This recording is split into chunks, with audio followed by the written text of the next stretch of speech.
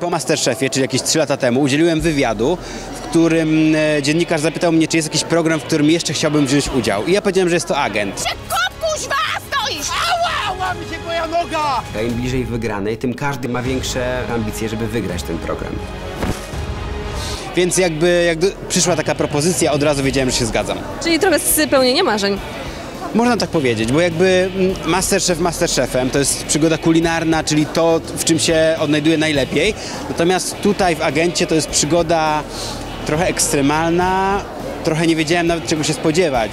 E, natomiast y, po pierwsze uczestnicy, po drugie zadania, więc jakby to była naprawdę e, jedna z przygód życia.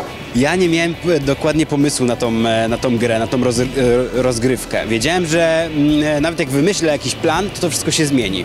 Jedyną osobą, z którą się przyjaźniłem przed programem była Angelika, mm, e, Little Monster, więc jakby z nią, e, z nią od początku gdzieś tam e, się dogadywaliśmy, przekazywaliśmy sobie informacje, na kogo głosować, e, kto raczej w, ogóle nie jest agentem. E, Natomiast e, sojusze były. Na początku mm, sojusz mogę powiedzieć, że miałem z Marysią i z Kasią. Natomiast potem przyjąłem taką taktykę, że wolę mieć sojusz z każdym. Agent, jakie cechy ma?